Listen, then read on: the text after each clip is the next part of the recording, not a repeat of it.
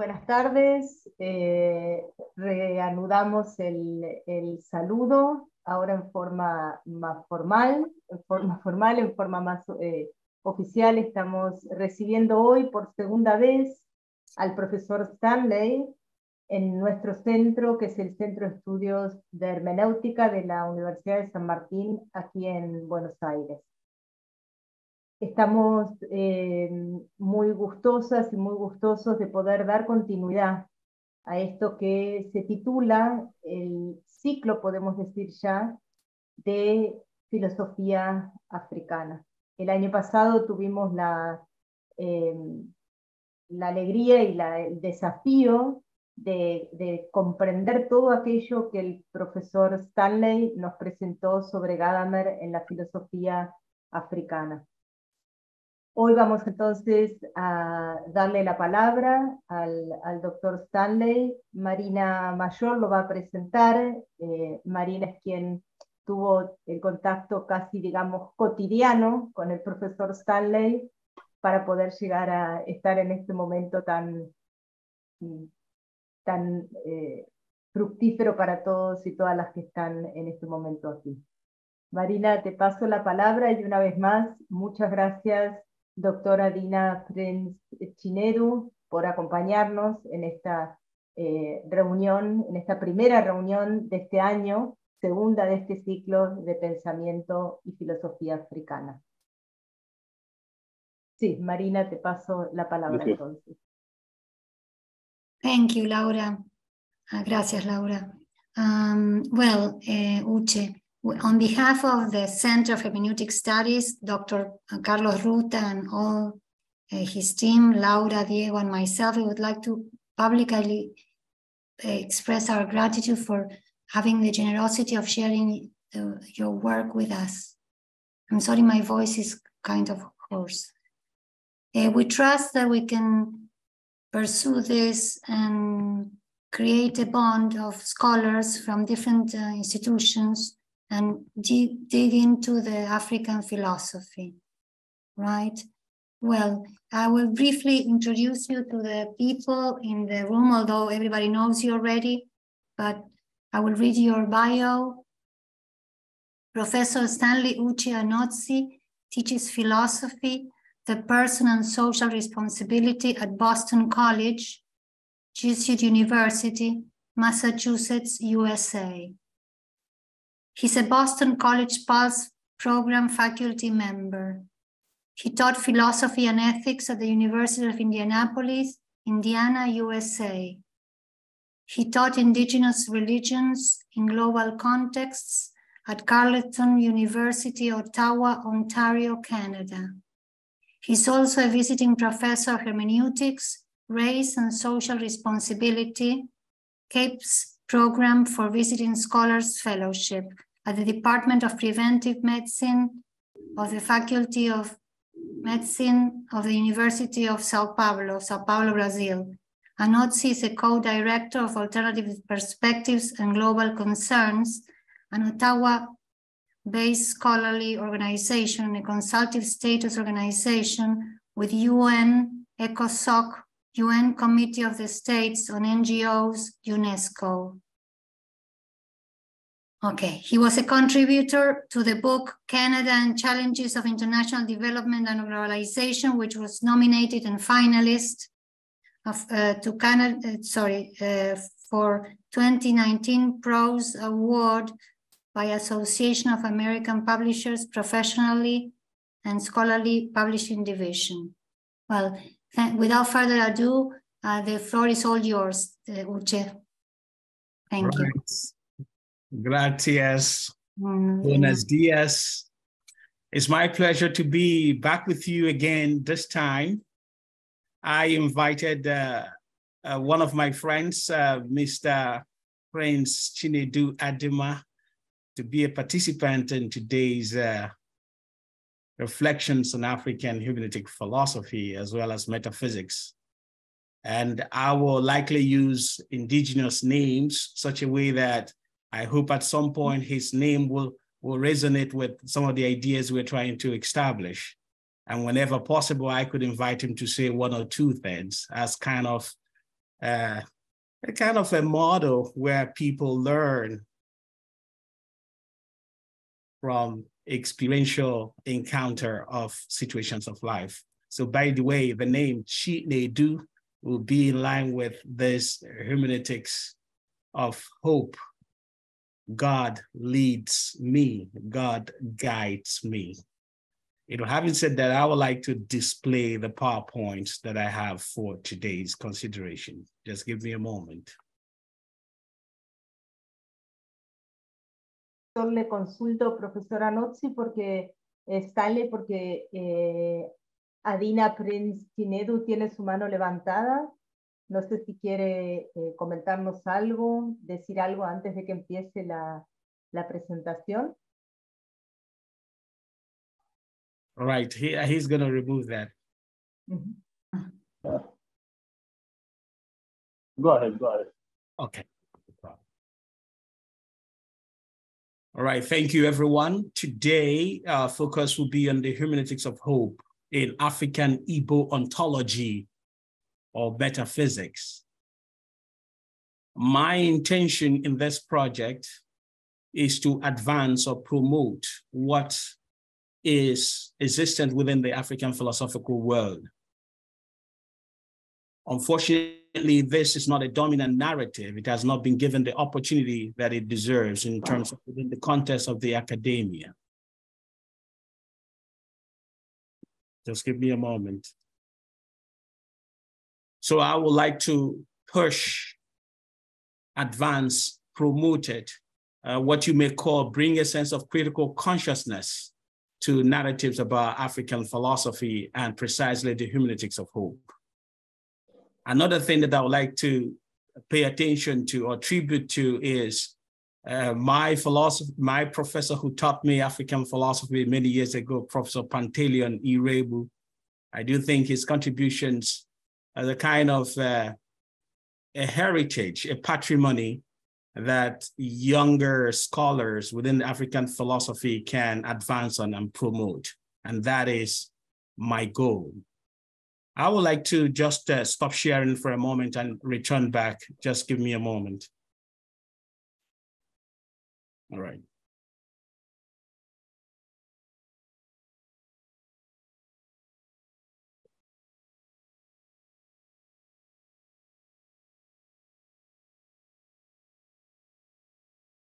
Just give me a moment. Let me modify something.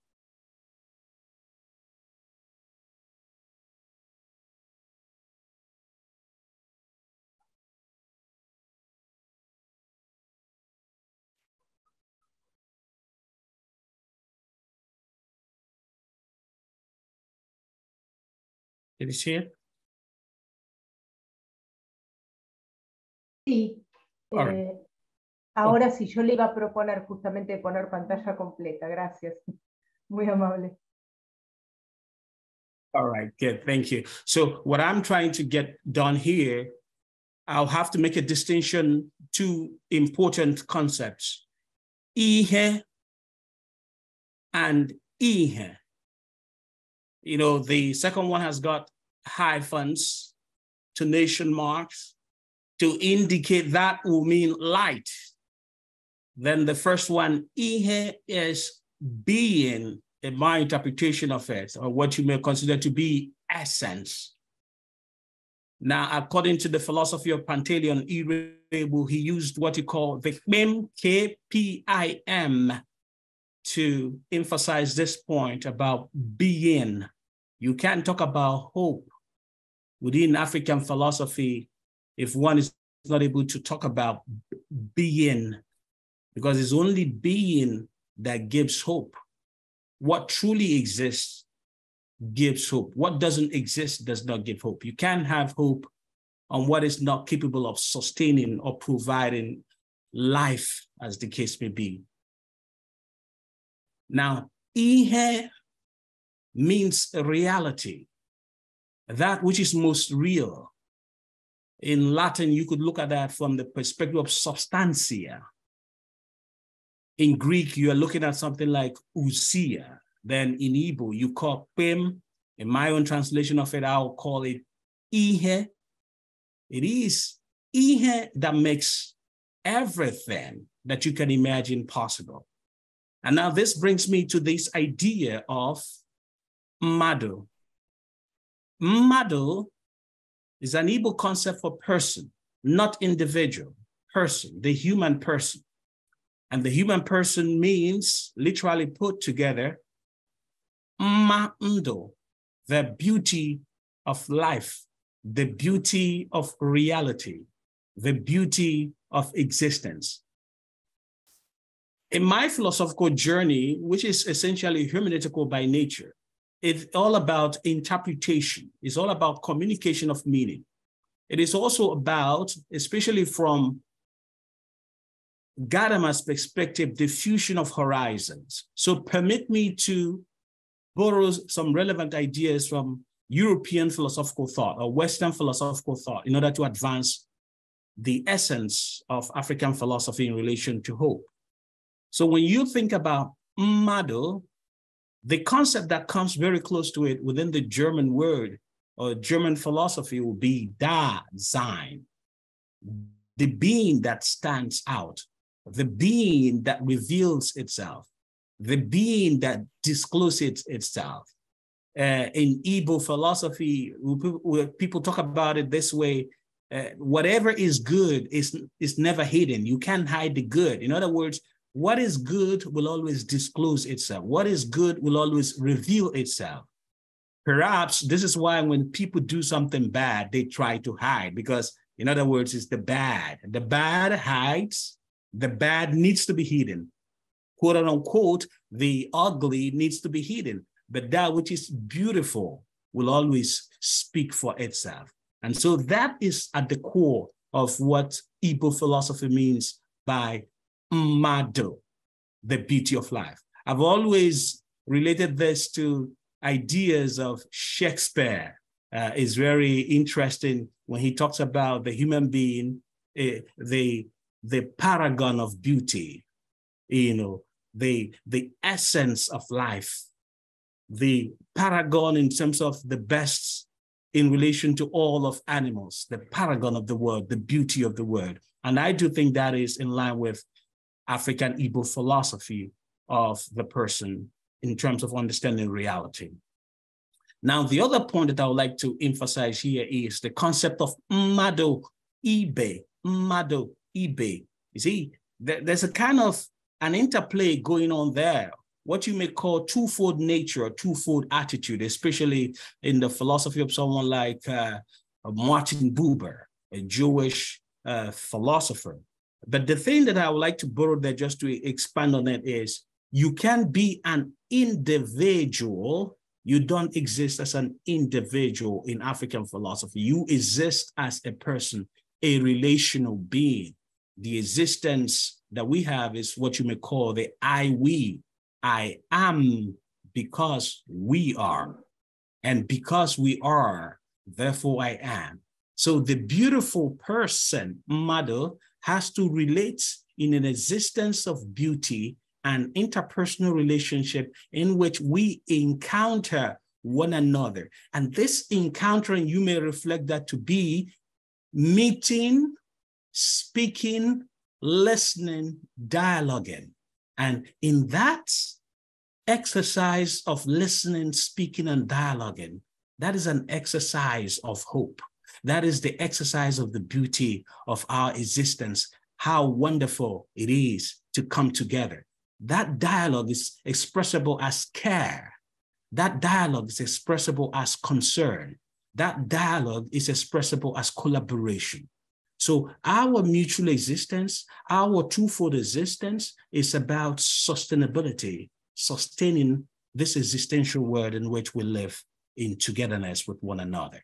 I think the German word that comes to mind here, miteinander, miteinander, or some, some concept like mit mitsein, being with the other. I also look at it from uh, the Swahili concept of tuko pamoja, being able to, tuko pamoja, being able to, we are invest together. That is essential nature of who we are. And what am I getting at is this the hermeneutics of hope that is reflected in the concept of the human person.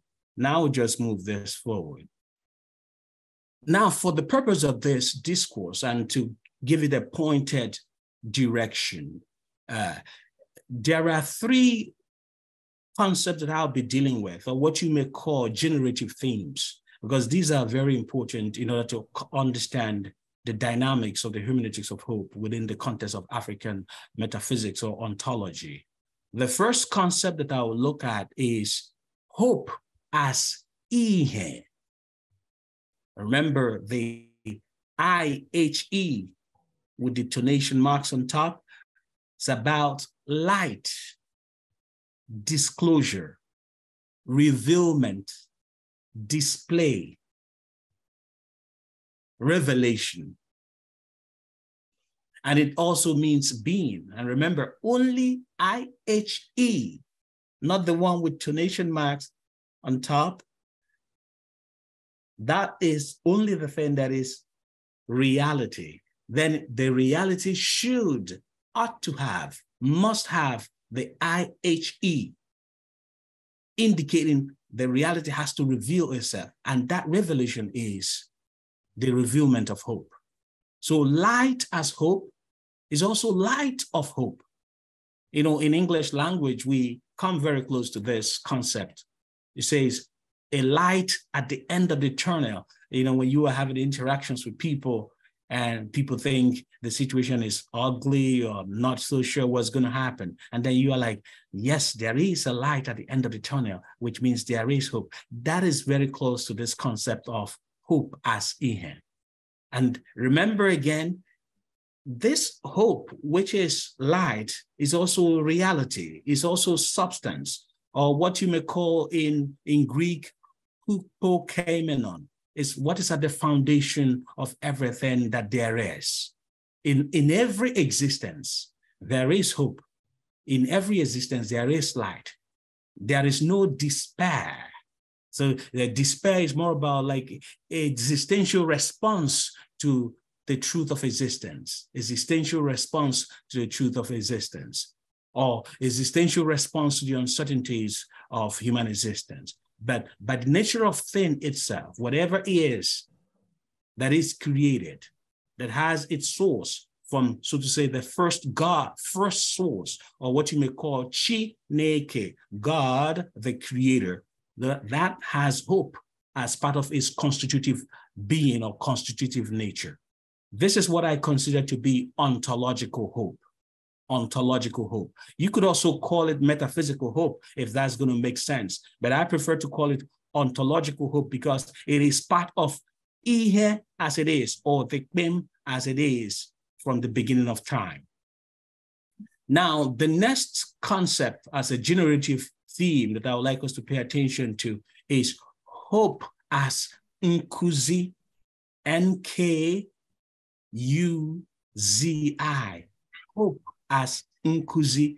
Uh, during my introductory remarks, I made a reference to my professor when I was a, a young student of philosophy. He used the concept by way of Nkuziology, but I'm trying to direct or redirect our conversation away from Kuziology because I do think that uh, it's kind of anglicized Igbo concept, which is not really beneficial, but it is relevant if you use it from the communicative perspective. But I'm trying to sustain the purity of African philosophy as much as possible, such a way that uh, we don't really have to depend on Western philosophical narrative in order to really understand African philosophy. In other words, I'm able to suggest that African philosophy can stand on its own. But then when we are communicating it in terms of linguistic exercise, we could borrow things here and there in order to, as a kind of means, as a kind of tool to communicate the essence. But the essence of African philosophy is intact. Now, he used Nkuziology to reflect this idea of life as teaching, or what I may call social learning, or what I prefer to call the experience of life forms humanity. You know, like the example that I also gave during the introductory commentary, where I introduced a friend, uh, uh, Mr. Chinedu Adema Prince. Uh, this is a process of Nkuziology, where the student is learning from the teacher. The student is learning from the teacher. And what am I dealing with here? You may call it epistemological or pedagogical hope. The learning process, life itself is a teacher, so to say. Life is an exercise. You, another concept that may come to mind is the Greek word techne. Through life, we gain the skills of understanding. We gain the skills of deliberation. And, and, and I will also put it this way, uh, when things happen to us within the context of African world, the, the Igbos will say, Abo otu ihe wano. Usually the Ngwa people of uh, Igbo land will say that, Obu otu ihe wano, or they will say, Obu otu wade, meaning that is how reality is. That is how things are. That is how the world is. Or you may say it this way, such is the world. All you have to be is to be a patient person in order to allow the world to reveal itself through this pedagogical process. According to Pantaleon Iroegbu, I will borrow his uh, narrative in order to express my point. He uses nkuzi to mean to knock aright, to knock aright.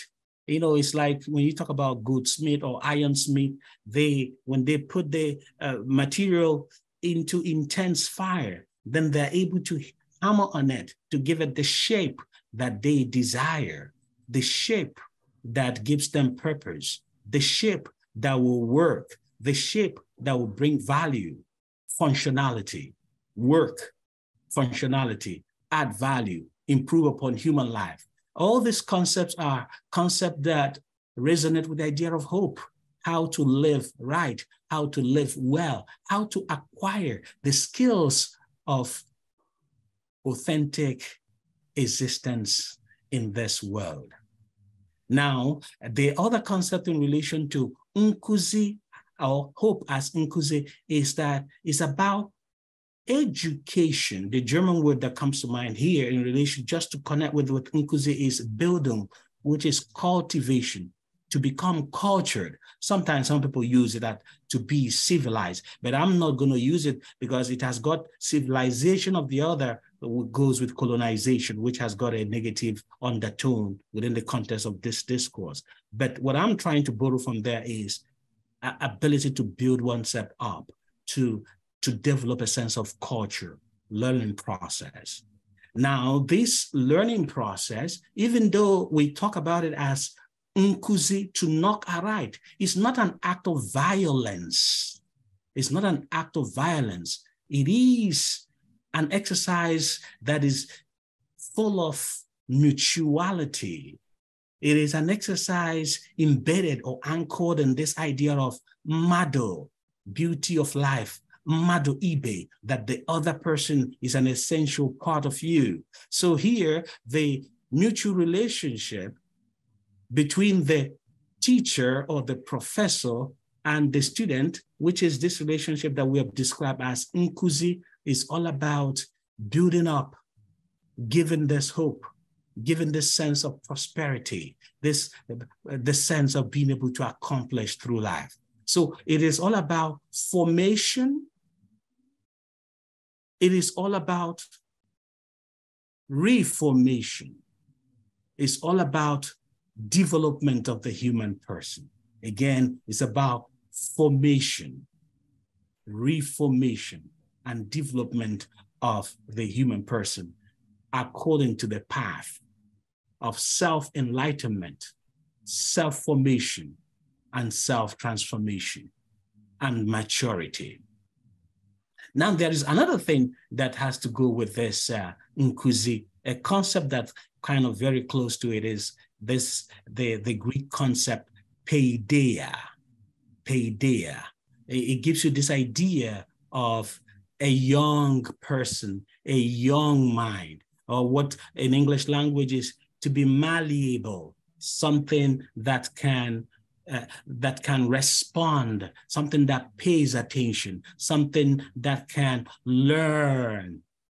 that has this patient in it. That is what Nkuzi will mean for the African person, for the Igbo person. And from my perspective, that goes with hope, being able to be patient with life and being able to learn the technique or the skills of the meanings of life. And that is part of the unfoldment, this disclosure that I associate with Mado Dasein, the being that reveals itself.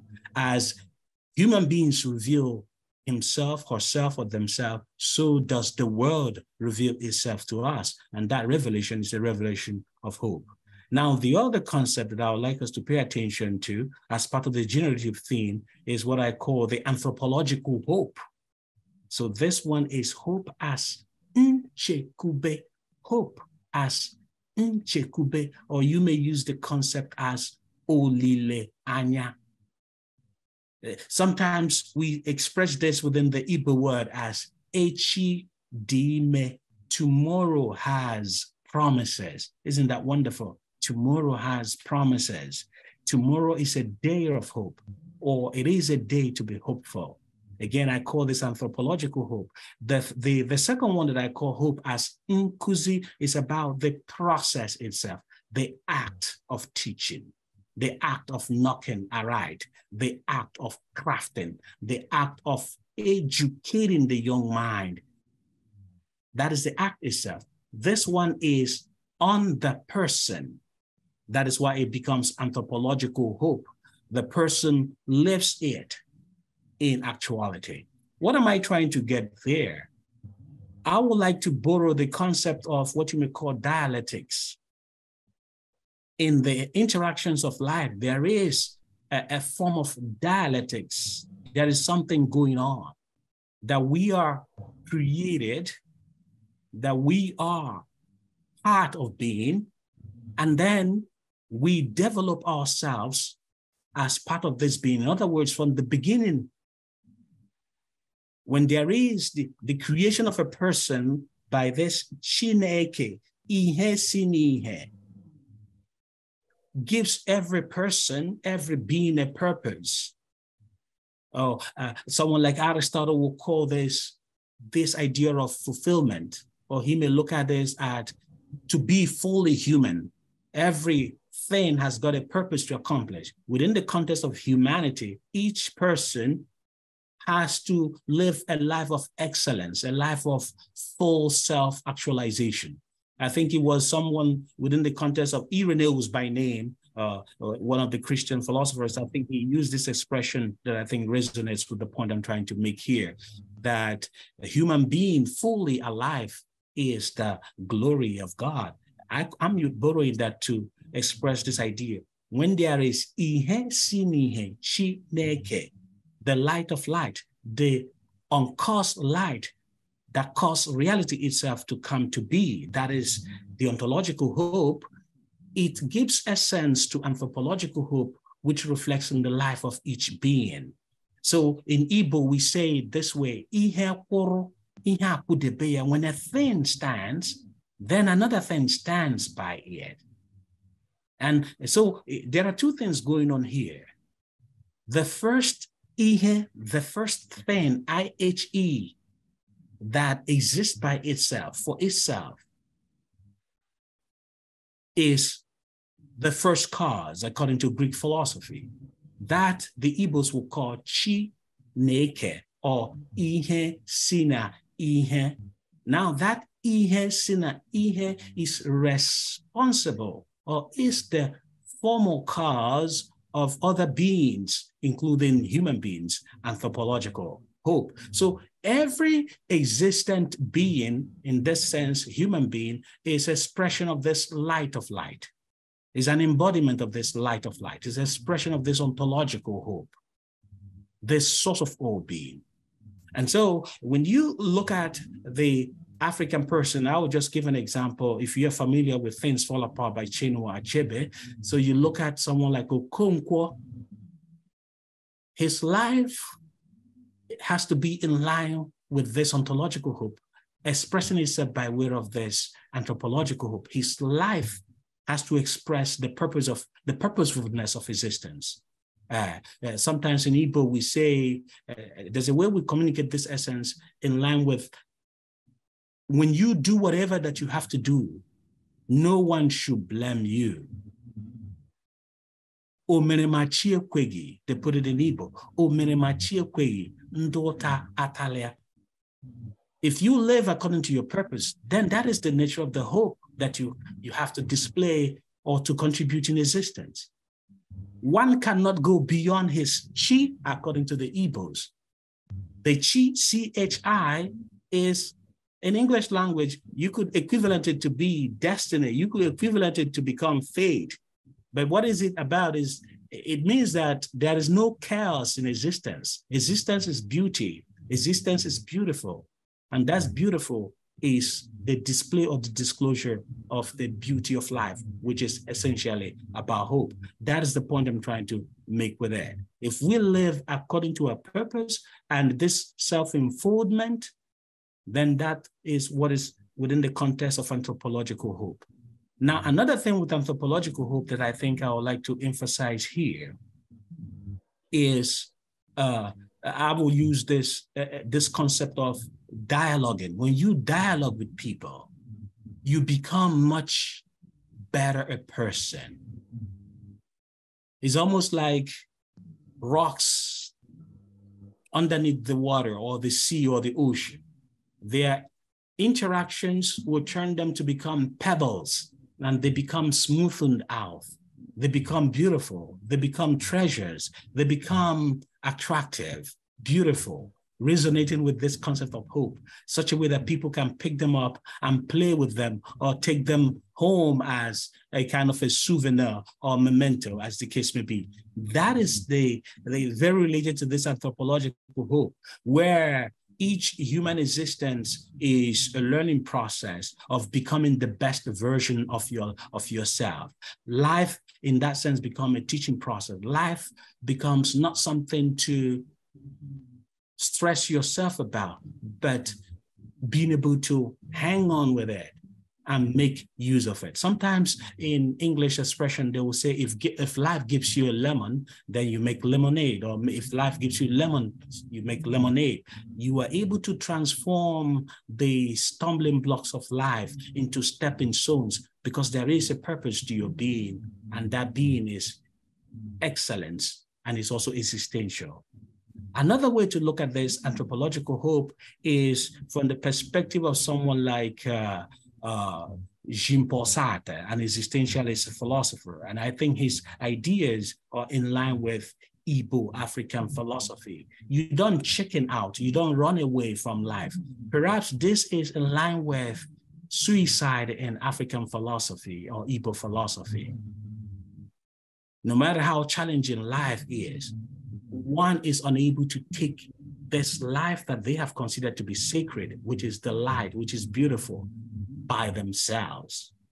One is unable to do that to themselves. So, although there's a little bit of change or modification, because, from my perspective, because of the clash of civilizations or clash of culture, Western philosophy and non-Western philosophy, Western philosophy, indigenous African philosophy. So sometimes this perception is whittled down. But if one were to go back to the basics of African humanistic philosophy or the hermeneutics of hope, uh, you could see the sensibilities that Africans had in relation to the sacredness of life and why not taking their, one should not take his own life. Now, I would like to relate that to what happened in the context of Okonkwo's case in the text by, uh, by Chinua Achebe. Even though Okonkwo took his life, which is this idea of suicide, but it was in response to the sense of disappointment that he had among his people because they were not getting involved, so to say, in this revolution in this fight against uh, external forces that was trying to take away their liberty, their culture, their sense of hope, or their sense of being. However, uh, uh, the hermeneutical interpretation from my perspective for Rafe is that here taking his life was the tragedy, not an individual or personal tragedy, but the tragedy of the community that kind of planted the seed of hope, the seed that if a man or a person or a personality or a personage like uh, like Okonkwo should take his own life. He is only suggesting the need to reinvigorate oneself, the need to reformulate oneself, to rebuild oneself, and to chart a path for oneself in terms of the narrative of hope, eh, building a better future.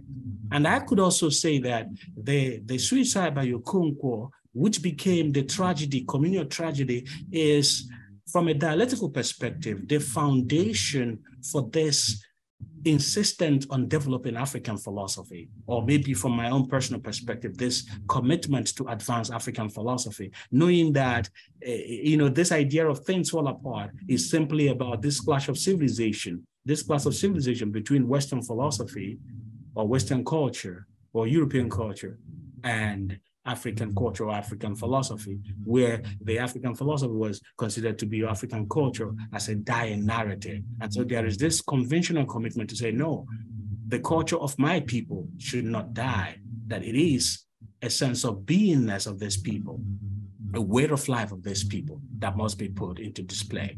Now, the other point that I would like to uh, relate to this conversation is that hope and chi now, I use this chi when I mentioned or described concept like chi nedu, my, the God that leads. So that chi, chi, especially with the capital C, is about the creative force, the uncaused cause, or the uncast of freedom. That chi is related with God, uh, like in the in the book of Genesis, in terms of Hebrew narrative or Hebrew scripture, as well as Christian Bible, is the cause of all things. The Hebrews, without necessarily using the Christian concept of it, independently refer this she as chi neke, si na ihe. Now, that narrative is essentially the ontological, and, and that is why I call it ontological, because you're not dealing with reality merely from the human perspective. You're looking at reality itself, reality itself for itself and by itself. And this reality is essentially God. And I think it's in line with some um, uh, this Portuguese philosopher, Jewish Portuguese philosopher by, by name Baruch Spinoza. He talks about Deus sive natura, God or nature, nature or God. That is the same thing going on here. She neke is reality, is equivalent to God, but is also the totality of being. And it is from this being you may consider to be mm-hmm. necessary being that mm-hmm. contingent beings and other hierarchies of beings mm-hmm. emanated, especially within the context of African people world. Now, I'd like to relate this uh, chi to names, but before I go on with that, I would like to uh, display as much as possible the connection between chi capital C and then the small letter chi they see that small chi. The correlation there is this capital C is about the ontological being, is about God himself, itself, by itself, the uncaused cause, hope itself, reality itself. Now the small letter C is, so to say, the imago Dei, the image of God in every person. It is the generative force that is in every person. Another way to look at it within the context of Igbo philosophy is this, uh, is this, uh, th this source of guidance that we have. The source that protects a kind of a moral model that we have. And this moral model kind of inspires you. In some cultures, they will look at it as kind of your conscience in whatever that you do, you have to mm-hmm. live according to your conscience. You have to live according to your purpose. You have to live according to your destiny. You have to live according to that form that is present in your life. I do think someone like Aristotle, or generally within the context of ancient Greek philosophy, they encapsulated this narrative about chi, the small letter chi, in that is uh, that is present in African philosophy. Uh, according to Aristotle, he uses the concept of form and matter, what he calls the principle of hylomorphism, what he translates hule matter, morphism being the form. So the form here is the chi, the small letter C H I. And so that is, so to say, the, the divinity in every, per, every person, every human being. So the understanding of African hermeneutic philosophy about the person is that every person is a display, a revealment, a disclosure of the light of light. Is a disclosure or revealment of beauty itself, a disclosure or revealment of the sense of order, a disclosure or revealment of the one, which is also being. And so now let's bring it together in terms of the different names that uh, uh, Igbos use in terms of naming their family members, their children. And from a hermeneutical perspective, these names would display or disclose the sense of hope, the sense of this uh, philosophy of hopefulness, this philosophy of, of optimism, and this philosophy that promotes that each person has got a narrative, a story that has to motivate you or inspire you to allow this existential learning process to take, to take place in one's life and around one. I would like to use familiar names uh, because uh, creating new ones may make it complicated. Let's use the name of Chinua Achebe, the writer of Things Fall Apart, that I'm sure many of us are very familiar with having read his work. The full meaning of that name is Chi Nolomogo. Chi Nolomogo. The English transliteration will be, My God fights my cause. In other words, there's always this idea of the essence, substantia. Ihe, reality is displayed in who we are is displayed in our existential interaction with one another in an existential interaction with the world. There is no, so to say, purposeless being. There is no being or human person within the African Igbo world that doesn't have what the person is here for. And so to have something for is like to have a sense of destination. To have a sense of destination is to have a purpose. To have that purpose is to have a drive, something that really motivates you, a destination for your fullness of actualization, as well as the actualization of reality itself. Now, another name that is very close to the one that we mentioned, Chinua Achebe, is the family name called Achebe. Uh, there are many versions, but I have this one. Ani Chebe, may the God of the land guide me, protect me, lead us. Ani Chebe. And isn't that interesting? The Ani there is also about chi. When I was making reference to the philosophy contributions by Baruch Spinoza, Deus sive natura, God or nature. Nature here which is equated to God, is the Ani. In Igbo, people say that different dialects will call that Ala, the land. The land is part of reality. The land is reality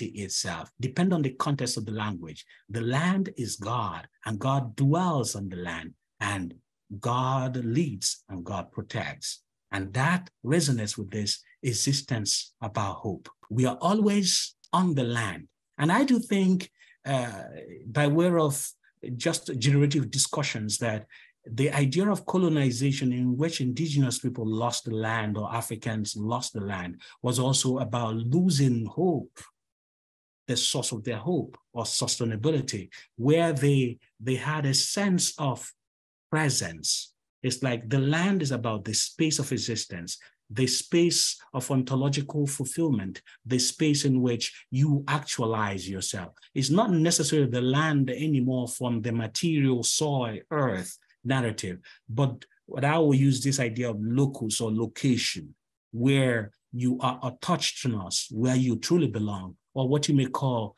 being native, where you are coming from, where you are born, that is close to your soul. And that idea of land could also be related to idea of language. When you speak your land spoken words, then it relates to this display or disclosure of actuality, a life of existence, a life of joy, a life of fulfillment. When you eat food from the land, you are interacting, so to say, with nature itself, with where you come from. And, and maybe this is why sometimes we talk about fatherland, motherland. That nativity is what I'm trying to take from there to connect with the concept of God that has to protect, that gives hope to every human person within the African Igbo world. Now, another person that I would like to use her name is another well-known African author by name Chimamanda Ngozi Adichie. She wrote a number of works like Purple Hibiscus, Things Around Your Neck, Americanah. Uh, she wrote, I think, a, a material that uh, Beyonce will use in, in singing a lot of her songs in relation to promoting feminist narratives. Uh, we all should be feminist. What I want to borrow from her name is this idea, Chim Amanda. You know, very often a lot of people anglicize that. Uh, this and they call her Amanda, or they call people with such a name Amanda. But the fullness of the meaning resonates with what I'm trying to display here in African hermeneutics of hope. Chim Amanda, my God will never fail. The emphasis is on the chi, C H I. And then there is this personalized version of it. The M, very close to it, is very significant. Chim Am an Amanda, my God, the capital C, my first cause, reality itself can never fail, cannot disappoint. Reality itself is the source of my beingness is the source of my existence. And so there is a sense of hope right there just by the name itself. Uh, this is a joke, but I'm trying to make a point. I think one of the songs by Michael Jackson uh, before he passed away, he says, just call my name, I'll be there. When you call my name, my name reflects my sense of hope my hopefulness. That's what I could, you know, uh, uh, relate to this idea of Chim Amanda. My God will never fail. Now there are other names. Again, the example that I gave with Chinedu, my God guides me. That is an equivalent of Chimamanda. That's another way to communicate that essence, that narrative. There are other names like Chizoba, my God, protect me, lead me, guide me. Some people talk about chi na echerem, my God, the divine, the, the necessary being, the uncaused cause, the uncaused freedom. Hope itself will always think about me, will always be part of my narrative. And then, as part of expression of this hope, people also name their kids or their children uh, with such names like Nkiruka, what lies in the future is better. What lies in the future is hopeful. Don't be disappointed. Don't give up. Don't quit. And then names like Nkechi, I will put it in my own little way, little tweak about it is Oge Nkechi, the time of God, the time of display of the presence of God. Uh, something that I find in all this relatedness in terms of Igbo names and the Igbo communication of the hermeneutics of hope is the uh, the reality or the similarities or the closeness between uh, Igbo narratives and the Hebrew narratives, you know, uh, the, the time of God's intervention in the history of the salvation of the, the Jewish people or the Hebrew people, you know, the idea of this uh, Kairos time. Some people talk about that as Kairos time, the intervention of God. Or what some people look at this idea of kenosis, the emptying of the personage of Christ in order to show the way, which is this idea of a sense of hope. I am not trying to equate narratives about Hebrew and equate the narrative about Christianity to what is happening within the context of African Igbo philosophy, but I'm trying to display a sense of uh, similarity and closeness that but, but at the same time emphasize that uh, African philosophy, Igbo philosophy, or the hermeneutics of hope can stand on its own by itself and for itself. having said that, I would like to bring my discussion to a kind of uh, an end, which is by way of conclusion. There are things that I'm trying to get accomplished here, and I would like us to kind of uh, recall. The first concept that I'm trying to put out here is my usage of the concept of I-H-E, to reflect reality, being, or essence. I am using this ihe to replace what my Professor Pantaleon Iroegbu developed as the kpim or the quiddity or the essence of being. I do think ihe addresses that question. I'm also playing with this by way of giving this the IHE that has got this tonation marks emphasizing that Ihe being has to reveal itself. Being itself is light. Being has to disclose itself. And that is the co-relationship or the connection between ihe as being and essence, and then as light and disclosure. And so the connecting link between both concepts will be this idea of hope. Now, another point that I would like us to remember in this discourse is that the three generative themes that I try to develop. This ontological hope based on the essence itself of God or the first cause or hope itself or reality itself, as well as what I call this pedagogical hope, which is the in the act of teaching itself, life teaches us. That teaching process is a sign that there is something that lies ahead. There is a future there is a purpose, there is a value, there is a thing of joy, there is beauty. And then the third is what I call, consider to be the anthropological, where this Nkuzi process, this knocking around, is not a knocking around that happens in the theoretical sense in abstraction. It is a knocking around that happens in the life of a human person. And if it happens in the life of a human person, it means that each person, each one of every one of us has got a purpose, a sense of fulfillment, a drive in order to live to the best versions of themselves. And so that is where you have hope as Nkuzi and where hope for Nkuzi will make sense. Now, as part of this conclusion, I'm trying to offer or provide solutions to what you may consider to be the effects of human existence within the African world. If, if we have ihe, that is which idea of hope. And Nkuzi uh, gives you idea of hope. And this anthropological hope and all this epistemological hope. How then should the Igbo person live in order to have a life of fulfillment, in order to uh, what you may call self-actualization, to develop without finding himself, her, himself herself or themselves within, so to say, like people talk about Africa within the context of the third world or the developing country or where there is uh, uncivility or people killing one another. What am I trying to get at? My point is the narrative or the discourse that we're undertaking is a narrative that calls African scholars, African students, or people within African scholarship to what I may consider to be the hermeneutics of the political philosophy of patriotism, going back to oneself, knowing that you can find solution, find a sense of hope from within one's cultural philosophy, cultural narrative, cultural language, whatever it is, that there is a sense of hope, that we can find more to ourselves than outside.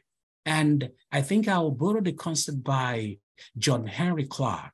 he says that the crisis of the African person is the crisis of the distortion of the frame of mind of the African person, where the person is caught in the middle of Western culture and non-Western culture, whether to accept his own cultural values or their own cultural values, or to accept the dominant narrative projected by the Western world. So that sense of inner confusion, inner conflict, crisis is what is at the heart of the crisis that the African person uh, sees or inability to actualize oneself in through activities.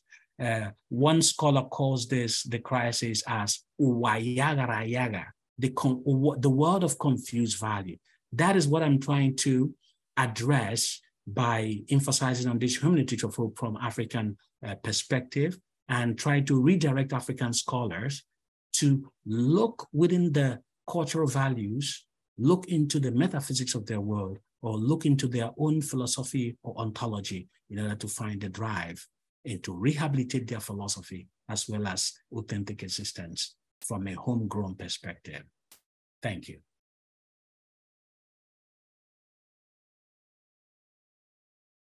Muchísimas gracias, profesor Stanley.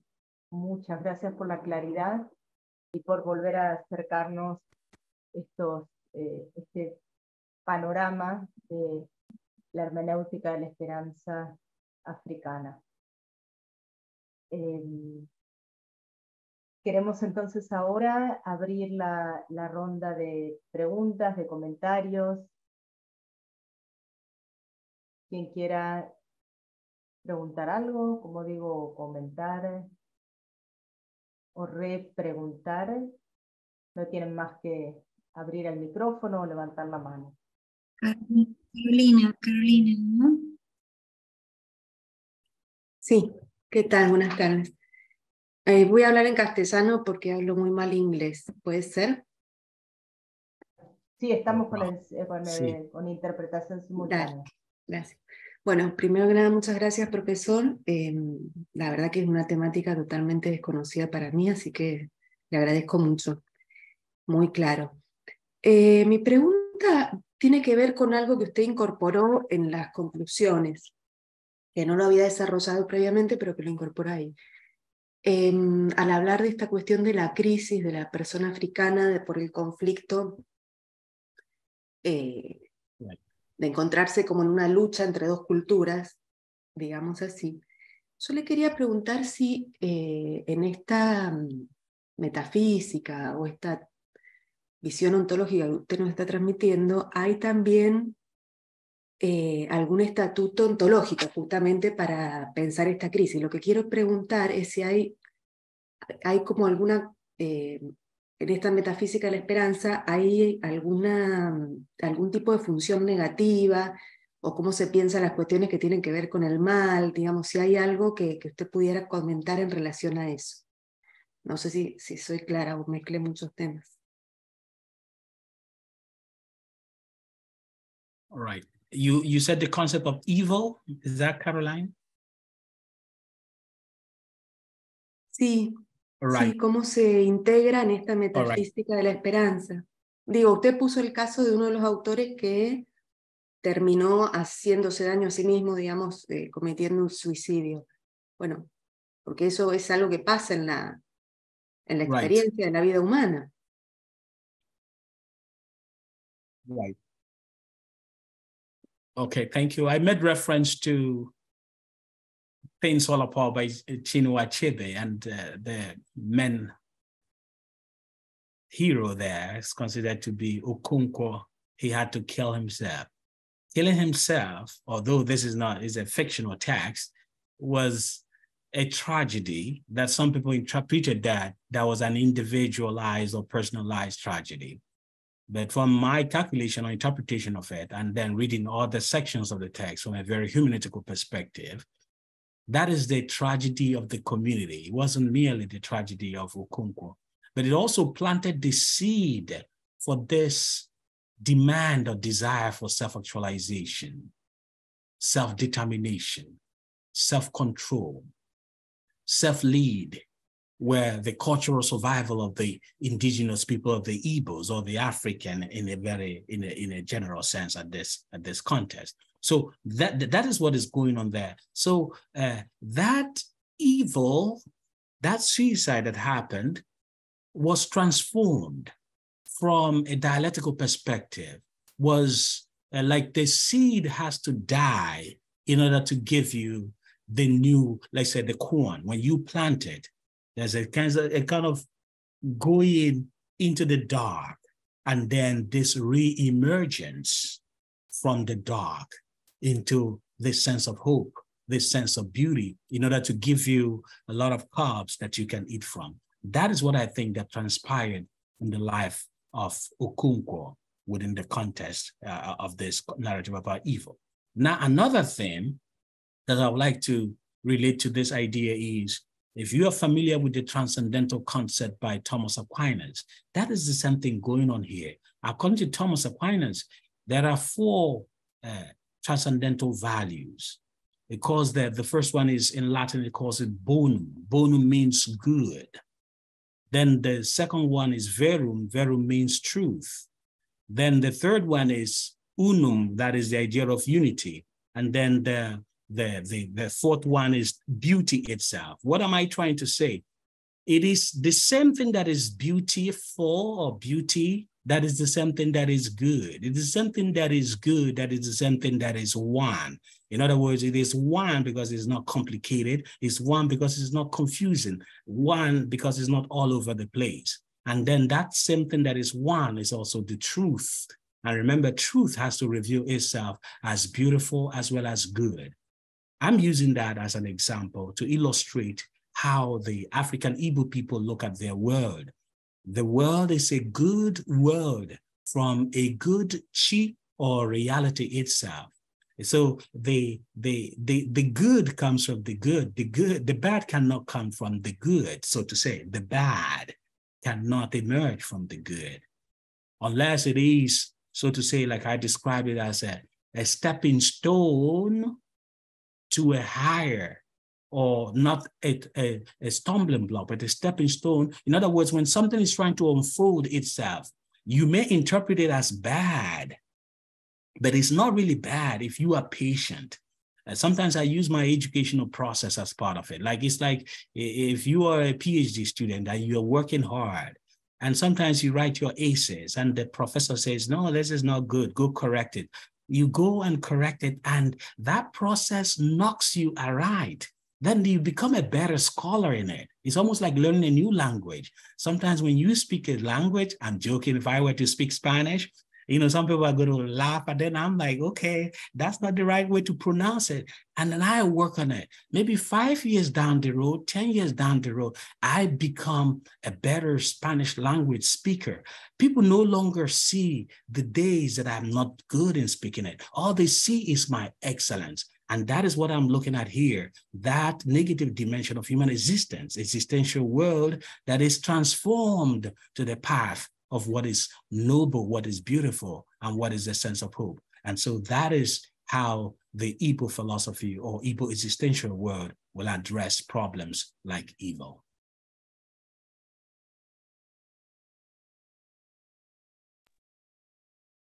Muchas gracias, Carolina. Muchas gracias. Mientras alguien más quizás hace alguna pregunta o comentario, em, quisiera hacerle una consulta, eh, profesor, y es la siguiente. ¿Podríamos entender o, decir que la hermenéutica de la esperanza africana eh, es una hermenéutica programática más que una hermenéutica de la facticidad? ¿En qué sentido? En que se ocupa de aquello que se ha de alcanzar o que se propone, es decir, en el sentido programático romántico, y menos quizá del mundo, del mundo dado, del mundo en el que nos encontramos, de este mundo eh, de la facticidad. Esa era mi primera pregunta. Y la segunda está relacionada con el segundo punto, cuando usted nos, nos enseñó que la hermenéutica de la esperanza tiene un aspecto, tiene uno de los conceptos que usted eh, desarrolló, un aspecto eh, epistemológico, pedagógico. Y ahí no pude dejar de pensar en las cartas de la educación estética de Schiller, donde se propone justamente una transformación del, él va a decir después, del ciudadano, o del, del sí, en realidad es del ciudadano, en virtud de la educación o de la formación que le permite volverse un ser libre, ¿no? un ser humano libre. Mi pregunta es si en la hermenéutica de la esperanza africana esa ese aspecto pedagógico o este, quizá retomando lo de la primera pregunta, ese programa eh, pedagógico tiene em, hoy en día una, digamos, como una eh, injerencia o una influencia en la vida educativa eh, africana, sea a cualquier nivel, ¿no? Sea a nivel inicial, primario, secundario, universitario, si tienen ahí como una vinculación con el sistema educativo eh, actual en, África y bueno, o en algún eh, estado africano. All right, thank you for your question. I will go with the the last question and then uh, return to the first. But if I forget anything, please uh, remind me. So the the the second question that you asked that I think is very interesting is this idea of uh, epistemological pedagogical hope. Yes, you are very right in terms of how Schiller looks at it. This idea of citizenship, or what uh, Bosanquet himself calls it citizen mind, education of the mind, is education of the young mind what I related in my own little way, humble little way, this idea of uh, political philosophy of patriotism, how to love your motherland, how to love your fatherland, how to love your culture. You know, yesterday I, I was involved in a, a, a, conversation, and just like uh, Zoom will put my name uh, Stanley Anozie. I said, no, my name is Uche. You know, I always say that by, you know, I joke, but I'm trying to, it's part of that self-consciousness. It's a part of this cultural revival. I'm tired of answering Stanley because Stanley doesn't, it pays my bills, but it doesn't pay my, so to say, patriotic bill, returning to where I come from, returning to my homeland to address my ethical well being, among people that look like me, live like me, laugh like me, and do things like me. And so that is the importance of this epistemological pedagogical hope. Uh, I also, in my own little way, I encourage people that work with me or work by me or assist me to allow indigenous Igbo philosophy to be part of the educational system. I think that is part of the crisis where Africans, in this particular case, Igbos, they, they, they learn things only in English language. If they were to learn sciences in Igbo language, I mean the principles of sciences, because these principles of sciences are universal, but unfortunately they are expressed in English language or probably in Francophone African countries in French. But if they were expressible in indigenous languages, uh, I do think that Africans or Igbos in this case will be better in their skills. You know, sometimes when I watch YouTube, a lot of the young people are involved in a lot of narratives and jokes and all that. Yeah, you can only, the joke can only satisfy you at the momentary level because they have not really addressed the fundamental issues. So these are uh, what I do think that education or pedagogical or epistemological hope can bring, which is leading Africans, Igbos, to return to the basics of being proud of their culture, being proud of their civilization, and uh, making that part of the educational process that can develop authentic existential people, existential being in the world. And that can also help with understanding of ethics. I could relate this, I think I've mentioned this before, but I don't know if it was within this forum. Um, the role of Western Christianity in the distortion of the frame of mind of the African person. So the African person is always talking about Jesus of the Western narrative. But if you look at the narrative about Jesus, is almost in line with the cultural values of the Igbo people before the promotion of Christianity to the highest level. So, for example, Madu Ibe, Umunna, all these things are good things that people could live by without necessarily having to become Christians. So, for example, a, guy, uh, a scholar by name Albert Nolan, I think I could display his work right here. Albert Nolan, his work, he says, Jesus before Christianity. My argument in that consideration is that the African person doesn't have to promote Jesus in order to be a good person. These values are already present. Like when we say ndokako, ndodere, nkechinyere, we're already recognizing the presence of God and the values of God. And these are ethical values that we could apply in order to solve our problems without this move to convert. This move to convert is the move of this self depreciation, not appreciating what we have. And very often you can't really solve the problems of life from outside. You have to solve it from within.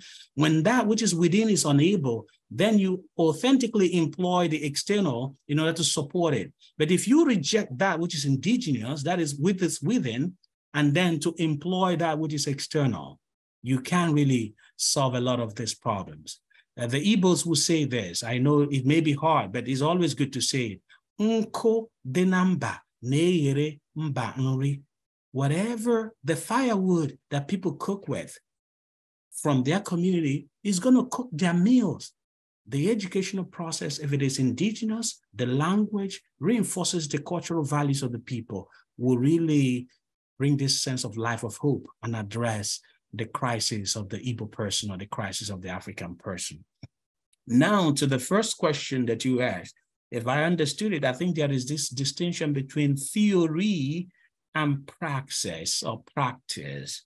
So you are looking at factual, and then you are looking at the given word. I, did I did I get that? The factual world, the existential world, and the problems of the existential world, and probably the imagined world. Uh, if I understood it, do, do you want to make a comment so I can move from there? Did I understand it? Sí, gracias por la, por la primera respuesta. Y eh, mi primera pregunta apuntaba a la consulta de si la hermenéutica de la esperanza africana podemos entenderla como una hermenéutica programática y no como una hermenéutica de la facticidad. Es decir, una hermenéutica que se ocupa de aquello que se ha de concretar o ah, de aquel eh, horizonte de sentidos que se concretará en el momento en el que esa, eh, eso, ese deseo se concrete, esa esperanza logre confirmar ese deseo, mientras que eh, hay hermenéuticas o conocemos hermenéuticas de la facticidad, que se ocupan del de, análisis y el estudio del ser en tanto ser eh, con, el ser en, la, en, una comunidad. Esa era eh, la pregunta. Okay, okay, I got, I got your point. Um, I think within the African philosophical world, you know, by the nature of hope, there is always the anticipatory dimension. Uh, I had this thought in my work here, uh, where I translated it to be uh, futuristic hope, but I try to, I don't emphasize the futuristic hope because hope by its nature has got the future in it, it's sandwiched in it. Uh, what I'm trying to say is future is part of hope, and hope gives you a sense of future that has not been actualized. And so that will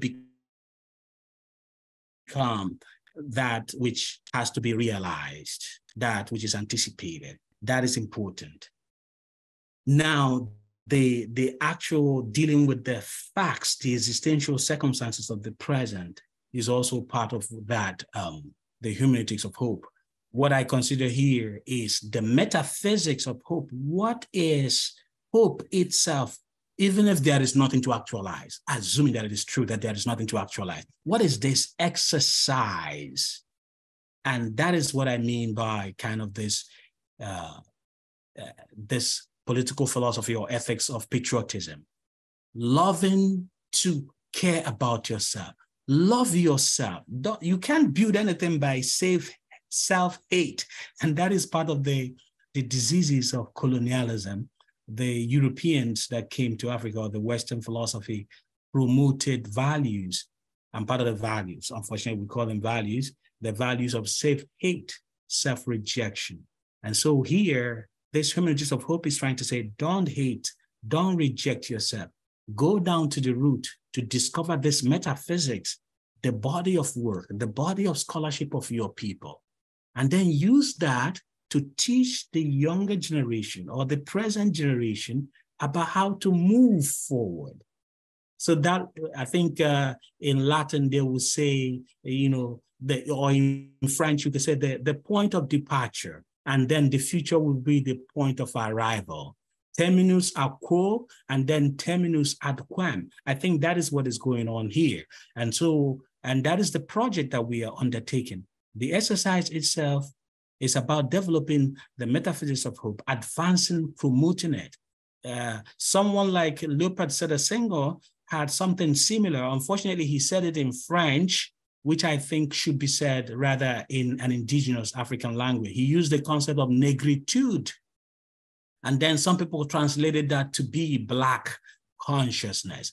By the way, uh, before I came to North America, I never considered myself as a Black man or a Black person. All I considered myself was an Igbo person, African person. So that is my problem or concern with negritude if it is translated to be Black consciousness. It should be translated with as about African cultural world, African spirit, this African, uh, the, this spirit or movement, this spiritual consciousness, this spiritual awareness of your beingness and the purposeness of your being, and then anticipating this narrative about where that beingness leads you, the future, the path, and that is the path of hope.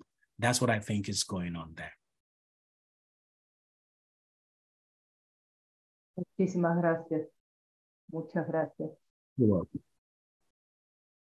Sí, eh, Estamos casi sobre la hora, tenemos unos momentos más, unos minutos más. No sé si eh, Adima o quería agregar algo, que al principio tenía la mano en alto y no sé si, si es que querrá, querría agregar algo o alguien más del público, Julieta, Juan José, Jaime.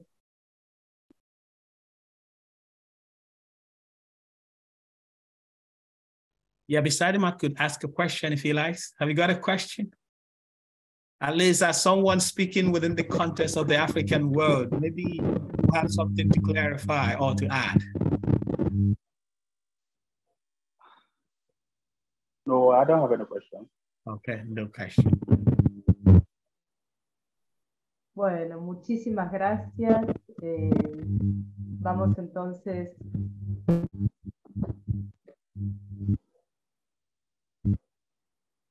Ah, You're welcome. Ah,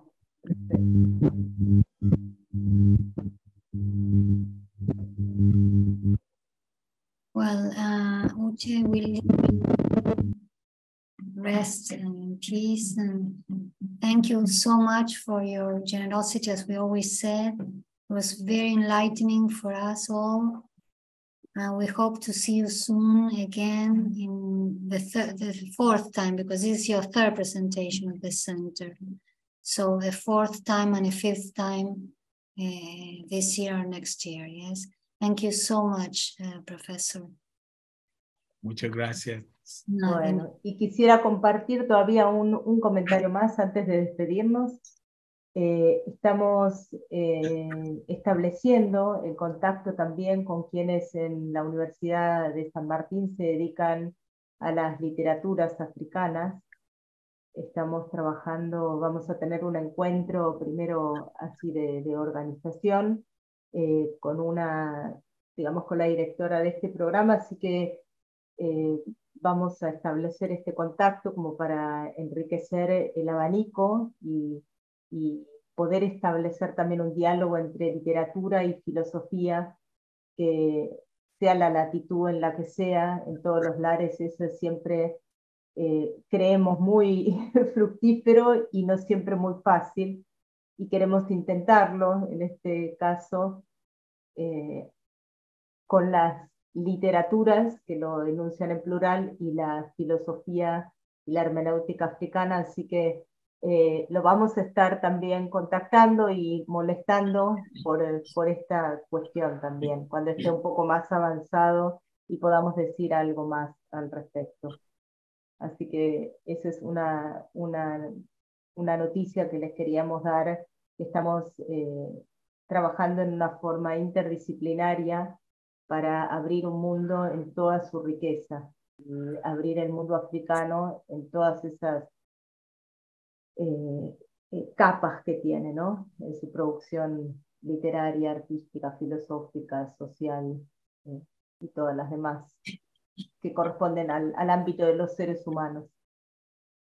Muchísimas gracias otra vez, muchas gracias a todas y a todos y les deseamos un, un lindo lunes también, primero de descanso quizá y de celebración y, y de de, recordar por qué se, celebramos el Día del Trabajo, eh, que ahí también estuvieron las mujeres tan implicadas en ese primero de mayo, en aquel momento.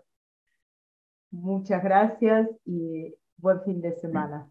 Gracias especiales a Bárbara y a Catalina también por la excelente interpretación que, que nos permitió compartir esta, esta reunión tan, tan amenamente y sin ningún tipo de, de sobresaltos.